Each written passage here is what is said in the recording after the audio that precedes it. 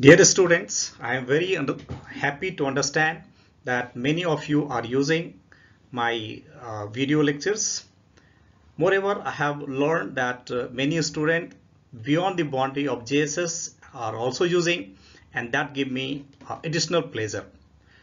Now in uh, making this PPT, my daughter Avni has helped me a lot. Hello. And uh, thank you Avni. Welcome. Right? Okay, bye bye. Bye. So now in this lecture, going to deal with the following two points basically.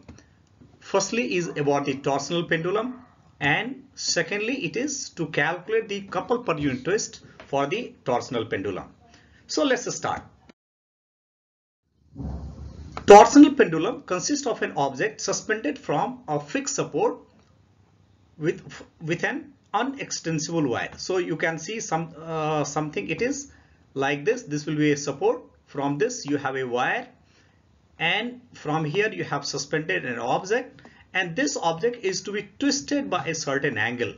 So if this is going to do to and fro motion, to and fro motion on both the side, then it will it will be called a torsional pendulum. So naturally as we know it is going to give the to and fro motion. So therefore we can have the time period of this uh, pendulum as well. So let's find out what will be the time period. So what we can say time period of a torsional pendulum will be the time taken time taken by the pendulum to complete one to and fro turning turning from the fixed point or from the axis of the rotation. So that will be the time period. Alright, so time period here it is given by t equal to 2 pi root under i by c. How, how we have calculated this uh, time period? So again here also we have applied the Hooke's law that you know F equal to minus k into x and then you apply the Newton's second law F equal to ma. So in the rotational motion the mass plays the same role as we have uh, moment of inertia. That is in the rotational motion we have the mo moment of inertia and in the linear motion you have the mass. Both of them are the same thing. So just by equating them we have calculated the time time period. You don't require to calculate this. So what we can say? The time period will be given as t equal to 2 pi root under i by c. So this will be the time period of a torsional pendulum. Where of course what i'm what i'm saying over here i i is the moment of inertia. Here this i that i have taken this is the moment of inertia of the body about the axis of the wire and C here this C is couple per unit twist. So this value of the C we have to calculate in this lecture. So let us see how I'm going to calculate this value of C. So let's uh, move further. Let us suppose this is your torsional pendulum. So this is the one cross sectional area that have been shown. So what I have done is I have taken the top cross sectional area of this. So what I am saying this wire of course as I explain you it is made of the wire like the wire like this. So this is the cylindrical wire like this. So what we can say this cylindrical wire is made of many smaller very very thin thin cylinders. So one cylinder will be this another that is we can say this is one of the cylinder. Similarly the another cylinder can be this like this. So what we can, we are saying we have the n number of the cylinders with which it is made of all right. So this pendulum is made of n number of cylinders. All right like this. What i have done is here i have taken one particular cross section that is one small section of this uh, wire that i have shown you that i have taken. So let us suppose the radius of this because it is made of many many uh, cylindrical shape like this. So what i have done we have taken a small section of this. That is we have taken one a small cylinder. This is the part of larger part of the cylinders. All right. Here i have taken this the top portion. This is the top portion. So what i am saying the radius of this cylinder is your capital r. Now what i have done is here i have taken a small cross sectional area. So this is the small cross sectional area that i have taken. So this has the radius small r and this is the thickness this is the thickness so we are saying the thickness here is in is dr all right so i hope you have understood this So let's move further. So what we are saying, this is what I have written here. Consider a, a cylinder of radius capital R. This is the radius capital R that, that we have taken and length is capital L. This is the length that we have taken. So length is capital L which is fixed at one point. So this is fixed like this. From here it is suspended. Right? It is suspended from one point and other point this is this is the other other part this part is free to move so what you can do you can twist this so what you can do you can twist like this on the uh, anti-clockwise or you can twist in the clockwise direction so in any direction you can twist at a very small angle all right so this uh, suspended end is being twisted so then what is happening the wire is imagined to be made of the large number of the concentric hollow cylinder. So this is the one part of your cylinder. So this in this way we have the n number of the cylinders, which is the part of which is the part of your uh, pendulum, torsional pendulums, right? Let us suppose the thickness of each of them. This is the thickness that we have taken. So thickness of each cross section is dr. So this is what we have considered over here. Let the line so what we are going to do? So we are going to twist this. So let us suppose we are going to twist in the clockwise direction. So this is your AB this is your AB so if you are going to twist this so this B will come to a new position. And therefore I am saying this B has come to the new position B dash. So this B here this B has come to the position of B dash. So naturally here this has got twisted so this is the angle by which the end of this has got twisted, right? So what is this angle? This angle, let us suppose, is the phi. Phi is the angle which is being made at the axis uh, with respect to OO dash. So now you see the triangle. We are getting a triangle that is B. This is your B. This is your O. This is your O and B dash. So naturally this angle phi is very small. So if this angle phi is very small, so angle can be given as arc. So what will this arc? Arc will equal to your B B dash upon radius. This is your small r. This is the radius that we have taken. So let's calculate what is the value by which it is getting twisted. So this is the phi. This is what the angle we have taken. The angle is the phi by which it has got twisted. So as I have explained you, that can be given as phi equal to B B dash into R. So this is the, so what we have done, so BB dash of course will be equal to how much? Phi into R. That is phi is equal to how much? BB dash upon R, arc upon area. So BB dash equal to phi into R. So this I am saying as this is your equation number one. Now again what I am going to do is, as you can see, here this end has got twisted. So in, in the similar way, what we can see, when this wire is coming from A to new position B, this wire has here also, this has also got twisted. This has also got twisted at the top surface. So let us suppose this angle of the twisting is theta. So here again we are getting another one triangle A, B and B dash. So what will be the angle of the twist? So the angle of the twist is theta. So again we can say the theta will equal to B, B dash upon radius. What is the radius? Radius is this capital L. This is the length. So this is your radius capital L.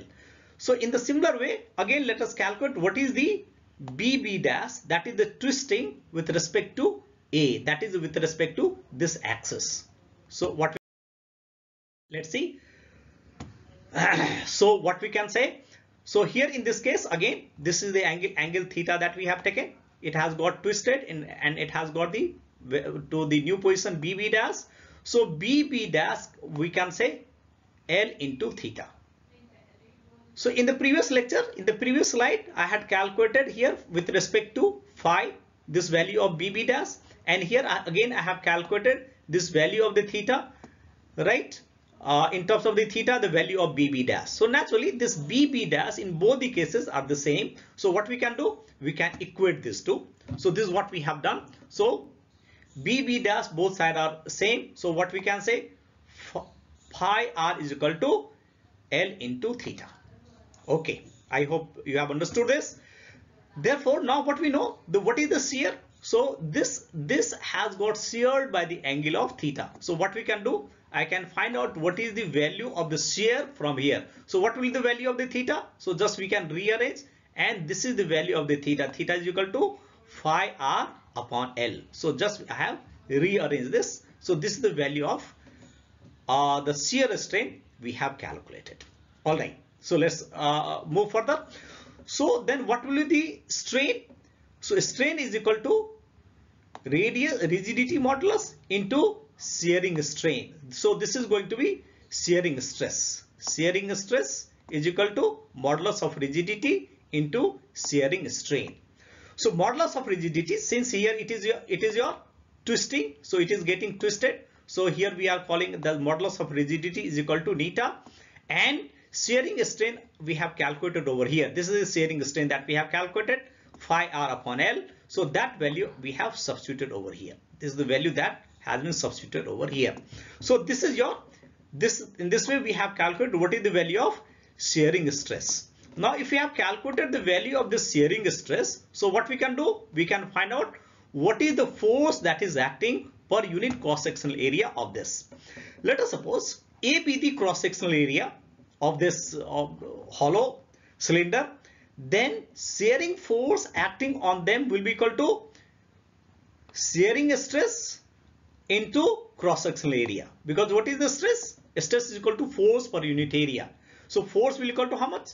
Shearing stress into the area of cross-section. So what we have done? Area of cross-section we have taken is A is the area of cross-section, right? Shearing stress we have calculated here. This is the value of shearing stress that we have calculated. So what we can do? Just we can multiply these two right and let us multiply this and let us see what we are getting so this is the value of we have got the shearing stress. So this is the value of the shearing stress we are getting. And then I have multiplied this by the cross sectional area A that we have taken over here. This is the cross sectional area we have taken. So this is the value that we are getting for the force right? So this is the shearing force that is acting on this. All right. Now area over which the force act. So what is the area on which the force is acting? So that is also uh, we have to see. So what we can say? The area will equal to your circumference into the thickness. What is the area? Circumference into the thickness. What will be the cir circumference? So circumference over here is equal to your 2 pi r. If the r is the radius, so what is the circumference? Circumference is 2 pi r and with this we we have what we have done we have multiplied with the thickness dr so circumference has been multiplied with the thickness dr and therefore you have got the total force acting on. All right. So shearing force therefore acting on this equal to what we can say? Just we have substituted all those value. So neta r phi upon l 2 pi r into dr. This is the value of shearing force which is acting on the cylinder. Okay, now we have already seen moment of the force. This is the moment of the force acting on the wire in the direction of OO dash is known as force into perpendicular distance. So moment of the force is force into perpendicular distance. So force, the value of the force we have already calculated. What is the value of the force that we have calculated? This is the value of the force that we have calculated. This is the value of the force that we have calculated, right? And then if I'm going to multiply with the distance, what is the distance? R is the distance. So what will be, what will be your total force that is at moment of the force? So force into the distance. So this is the value of the force that we have calculated. Here is the force and with that force we have multiplied with R. So this is your moment of the force. This equation we are getting moment of the force here. This is the moment of the force. So moment of force is equal to neta phi upon L 2 pi r cube into dr. This is your moment of the force. So what is the total moment of the force? So naturally the radius of the cylinder was your capital R was the radius of the cylinder.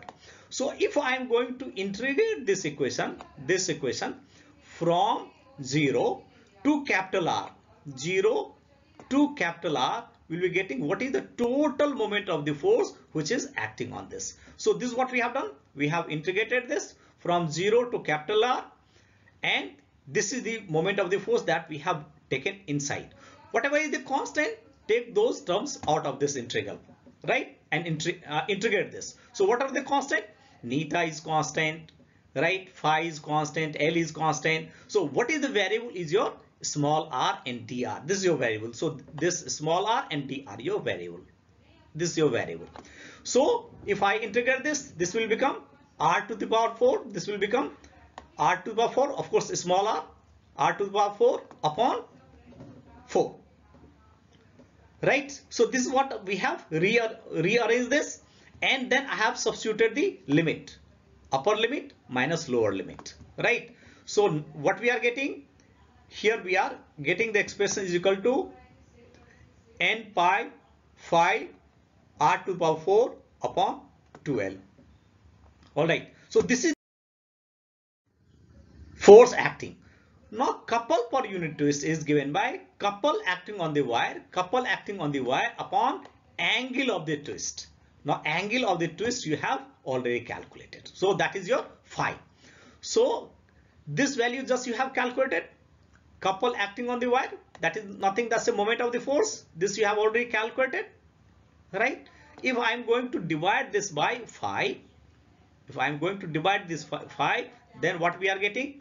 Couple per unit twist. This is the couple per unit twist. So couple acting on the wire that is the that is nothing moment of the force.